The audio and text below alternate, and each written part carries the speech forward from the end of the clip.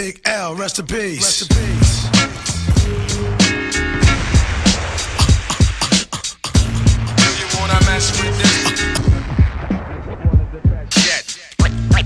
We've got it.